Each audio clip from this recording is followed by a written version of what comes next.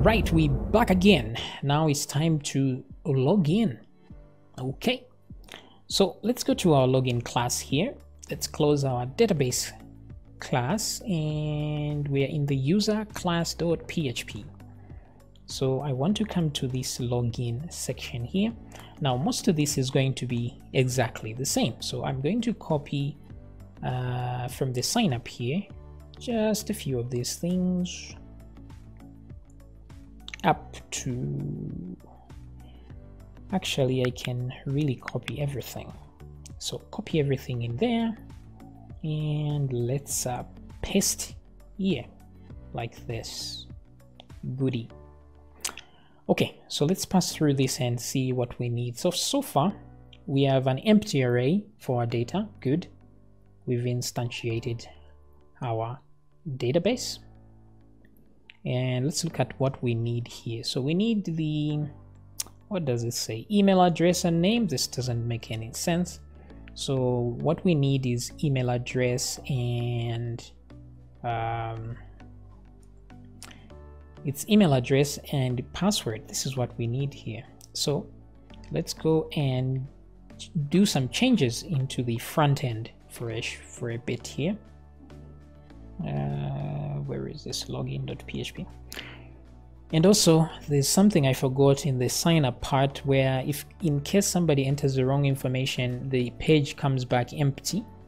So it should at least give the user some extra information. So we're going to do that. Uh, I might do that in the next video but definitely we will do I'll show you how to make sure that the information is not lost the user might give up if every time there's a mistake they have to start all over again.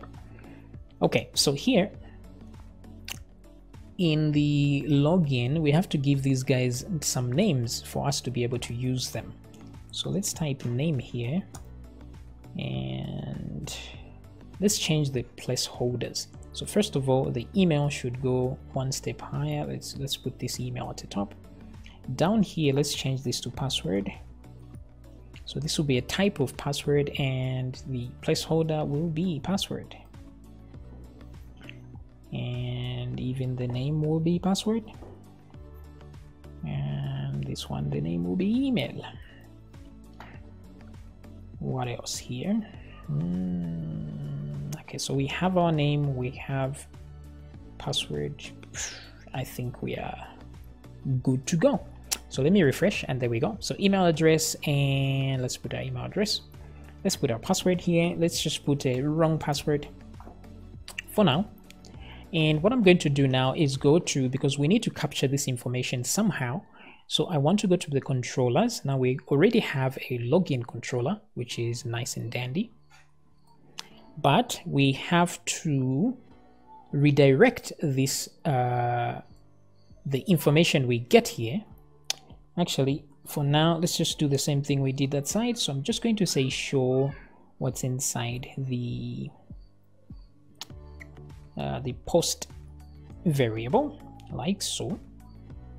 Just so to make sure that we are receiving something.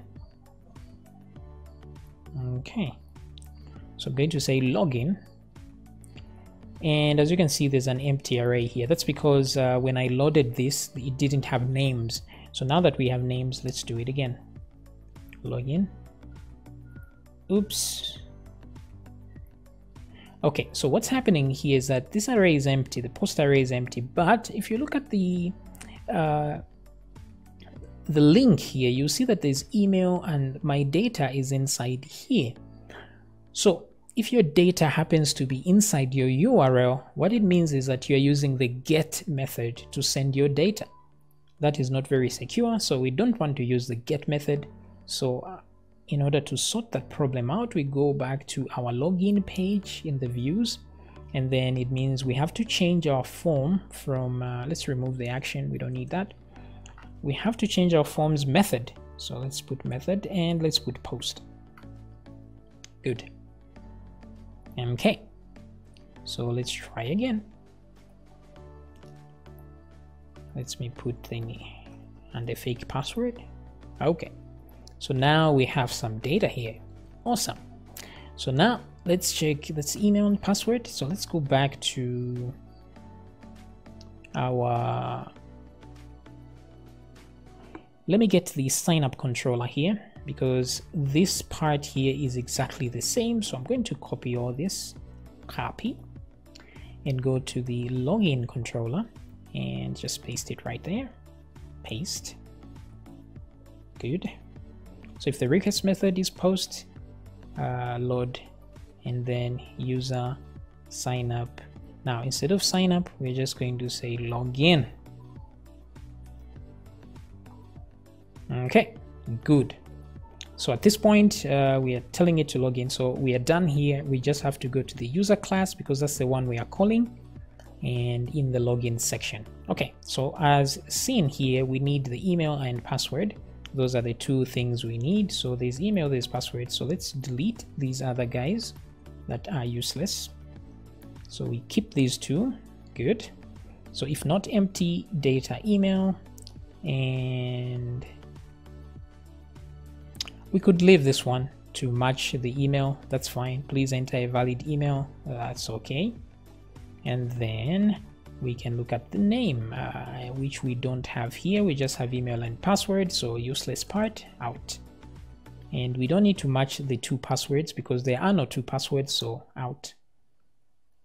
We don't need to know whether the password is eh, eh, we could leave this one there. Why not?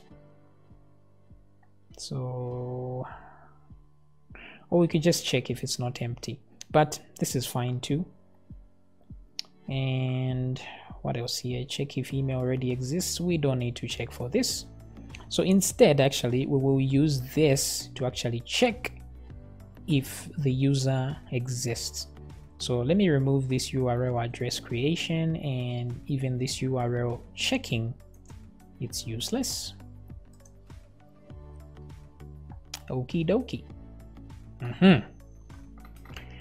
So if all this is good uh, then we can move this guy into here. So first of all we don't need to create the rank so out. So save no confirm something like this. So we don't need to create the date we don't need this password hashing. Ooh, we actually do need the password hashing. Surprise surprise. Okay now, remember one thing here is that, uh, let me go back to the table. Now, remember that the password here that we, uh, this hashing is one way. So what that means is that once you hash your password, it's impossible to re to undo this hashing. So if I look at this, even if I had a computer, I could not recreate the original password. It's not possible maybe it could be possible with very powerful computers and if you had a hundred years to do it maybe. But so how then do we know if the user has entered the correct password? So what we do is that whatever password that the user has entered to log in here we also hash it. So we're going to hash it exactly the same way we hashed the original one they entered. And because it's the same password it's going to give us exactly the same hash result. So then we can compare the two results to know whether our password is correct. Right, so here at this point, data password is equal to hash. That's good. So now we have one item in the data. And what other item do we have? Okay, so that's the same password. And so we have email and password. Good, good, good, good. So at this point, let me get this part, cut it because it's it's used for reading so I want to read also from the database. I will paste it here like so. And then I will use result here because that's what's here so I will use result and put it there. Very nice. So instead of this array here we will use the data array like that and let's remove these guys here. We don't need that. Mm hmm okay. So now selector from users where email is equal to email. And then we'll copy this and say and password is equal to password. Password is equal to password. Like so limit one. We just need one. So that's cool. So there we go. We read. And if it's the result is good then we redirect the user to the login page. Oh not to the login page sorry to the home page. So I'll just type home at the end there. And then I can remove this over here. Mm -hmm. but if it doesn't go well then we'll just show the user our errors. Now the thing is the the website needs a way to know that the user has been signed up because otherwise if we don't do anything here we just redirect them to the home page the homepage will have to ask them again are they logged in or not? And then they have to log in then it becomes an endless cycle so since we have this variable called session which is always available everywhere on the website once you set the session it's available even when you close the web um, until you close your session until you close your browser so it's available on every page so it's called a super global so let me copy this super global and use that to store some information. So I will store this information in a variable name called user, I'll just call it user ID or user underscore URL like so. So user URL is equal to, and here what do I say? I will say um, the result here so actually copy result here and put it in there because we have to check for result so if there is actually a result here then I will put this here. Now remember this returns an array. So if the item is one there's just one item we have to get the first item in the array and not just the whole array. So I'm going to put a zero there that's the first item. And then inside the first item I will get my URL address like so good so we put that into the session and that's all we need to do is to check for this guy in the session. Then we will know that we are actually logged in. So let's give it a try. Now remember we have no way to see our error messages yet. So let's go down to in the views to sign up here. And I'm going to copy this error part there and put it in the login.php as well let me go back to the sign up see just above the column. So where is the column? Ah, that's the column right there. So paste. Like so. So let's try again. Oops. That didn't seem to work. So let's try one more time.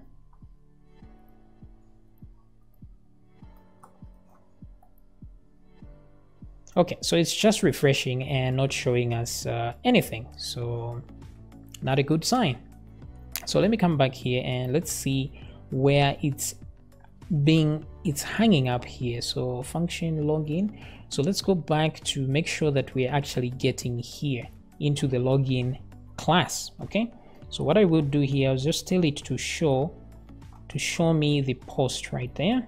Copy and paste like that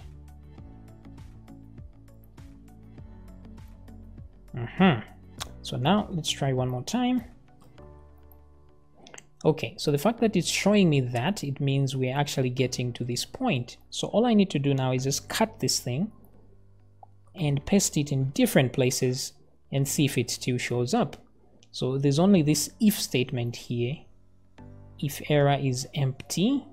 So let me try and put it in there to see if we are getting to that point. So refresh, and we are getting to that point, which is very good. So it's coming up to this place here. So maybe where it's not going is inside here. So select all from users. Okay, so what this means is that we are not finding the record and as it should be because there is no such record here.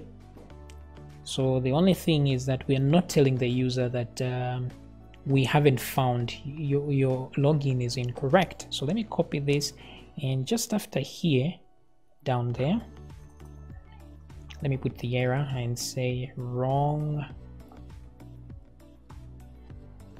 wrong username or actually it's wrong email in this case so wrong email and a password like this actually or so we don't want to be very specific here. We don't want to tell them whether it's the email that's wrong or the password that's wrong. That's a security feature so that they don't really know. Because somebody if somebody really uh, has a login details to your website they should know their email and password. So don't give out too much information. So let's come back here and let's do a refresh. And so we get wrong email or password so then we can get to try again right? So let's try something legit like password enter. And there we go. So now we have been redirected. Okay. Apparently we have a problem here. So cannot use object of type class std class. That's a standard class as an array. So where is this user.php in the class on line 107 so let's come back to line 107 so which is right there mm -hmm. So what it's telling me here is that I'm trying to use a class as an array. So I definitely know that this session is an array. So it must be talking about this guy. Now remember that in our database, we told this thing to be returning an array of objects. So an object is a class. So it means this is the problem right here. So it's an array which means this part is good, but then it's an array of an object. So this part is wrong. So at this part, let's remove this and let me do that. I'll put an arrow there instead and we should be golden. So let me refresh and bam, we're on the home page. So how exactly do we know that we've actually been logged in?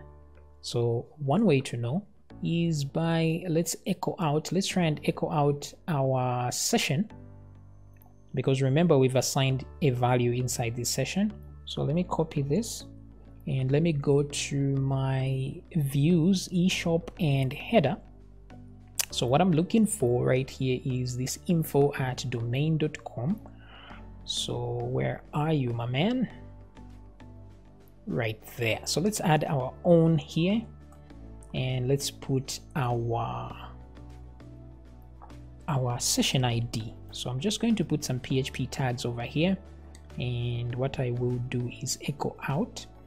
Now remember one thing uh, oh actually the session is available everywhere so let's do a quick one here let me just paste the session and then close like that so question mark uh, PHP tags like that, if you put the equal sign, is exactly as saying PHP echo, like so. Same thing. So instead, I'll remove this and just put my equal sign there.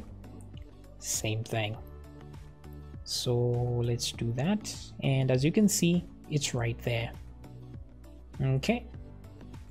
So instead, we can put a different font awesome here. I don't know if. Um, actually don't use font awesome so i don't know if there's one called user. Oh apparently it's there. So let's see. And let's put a space there. Oh wrong place. Spacey here. So let's try and uh, try that. Okay that looks much better. Okie doke so you can see our session id there now in the next video we'll see how to instead of showing the session id we show the actual user that is logged in Okay, so I'll see you in the next video.